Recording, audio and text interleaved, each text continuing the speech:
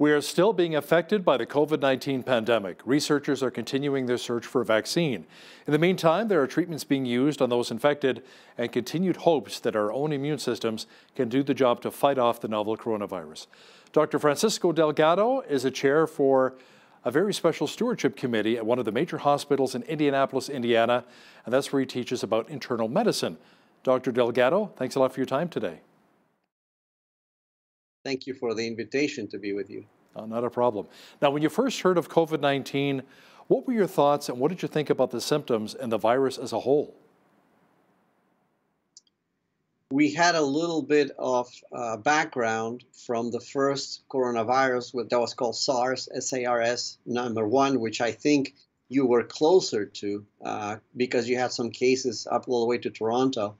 So we knew a little bit what to expect. We just uh, didn't have a lot of information in the very beginning to know how how much to you know how much of a problem this was going to be. And it turns out it was a lot more uh, problematic than we were expecting yes. Has the virus mutated in any way as it's gone from person to person?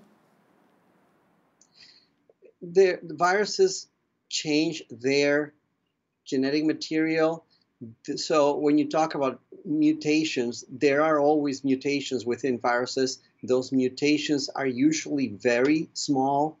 Uh, really, at, at, this point, uh, not not clinically significant, meaning that those mutations do not.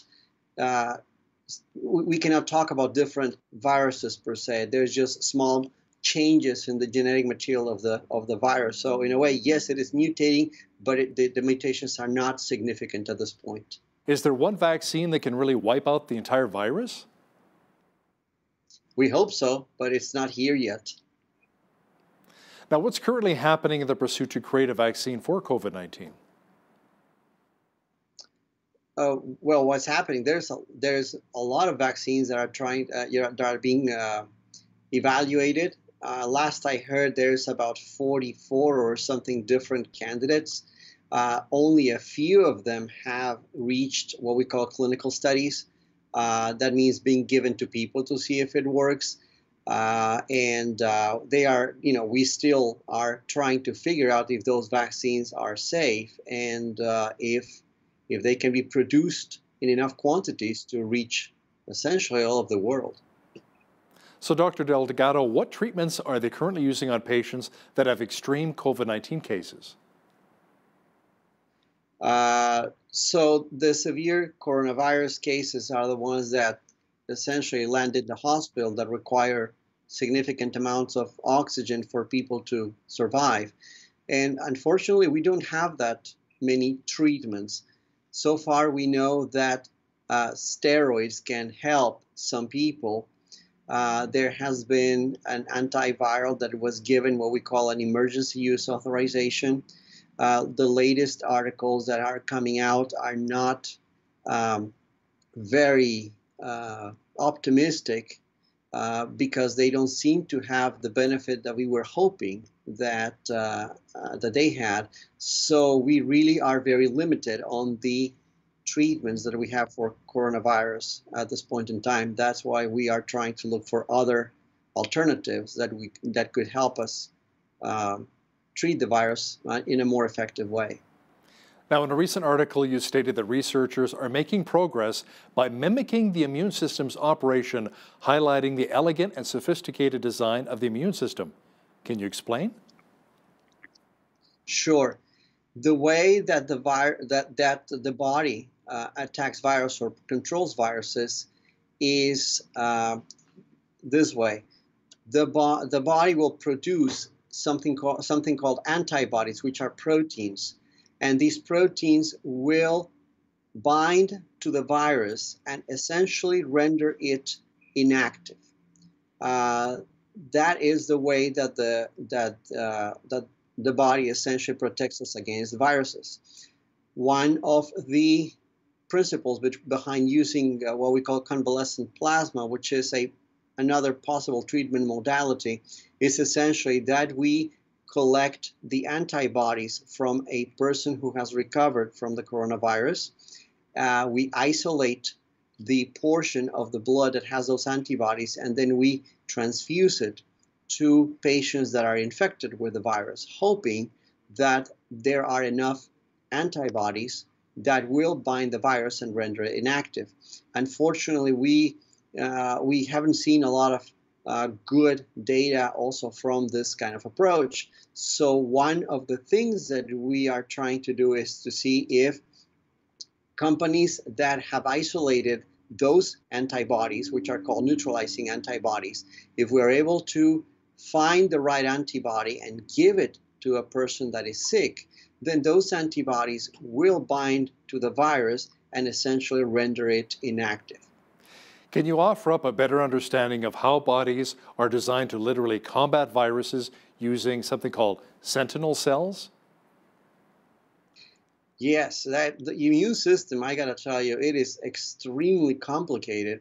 And uh, the way that essentially this happens is once you are exposed to, let's say, a virus, a bacteria, there are cells that will recognize that something is not supposed to be there. Those cells will essentially attack that pathogen. They will break it down into multiple small pieces. They will essentially sort out which pieces of that pathogen can be useful or, they, uh, or can be the Achilles heel of that pathogen.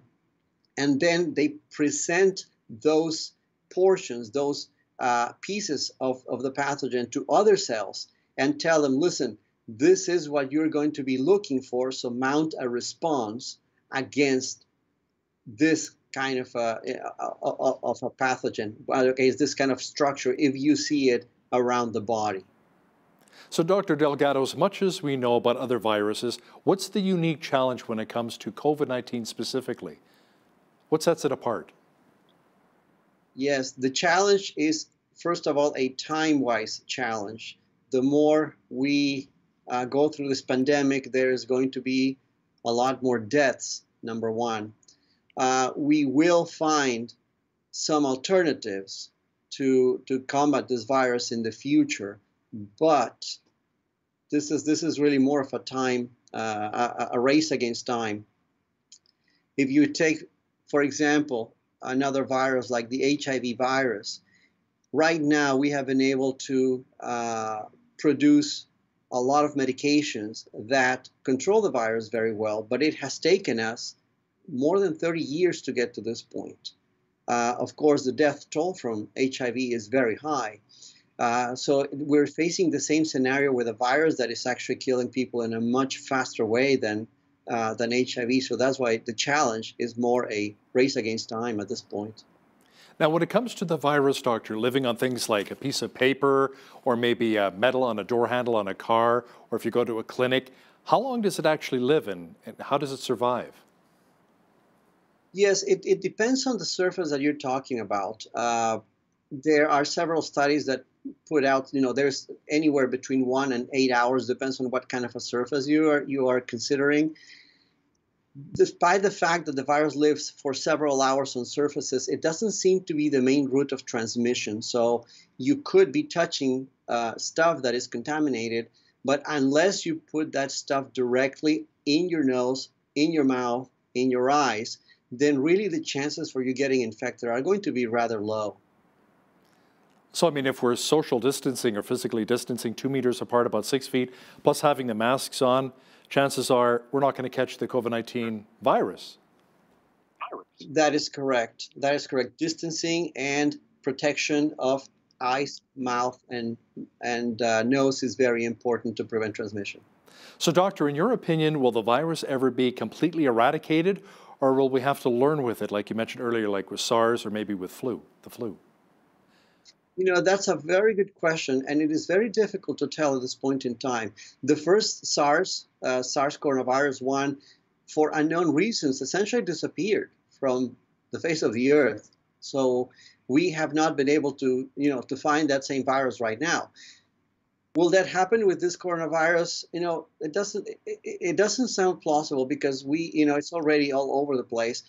It's a. This is a, a possibility is that this virus will be living on, in a, in a uh, small percentage of the population in areas of the world, you know, throughout history, really. We don't know yet, but that is a, that is a very interesting question. We don't have an answer yet. As a medical doctor that has had so much experience working with viruses, what motivated you to conclude your article by saying that our bodies speak loudly about the exquisite design of our immune system and that we are truly are fearfully and wonderfully made? Monoclonal antibodies, what we're trying to use to fight this virus, is actually mimicking something that the body does, uh, which is essentially manufacturing uh, antibodies that are going to inactivate the virus. The interesting part is that our body takes only days to manufacture these antibodies, whereas it's taken us months to even get something that we can try on people safely.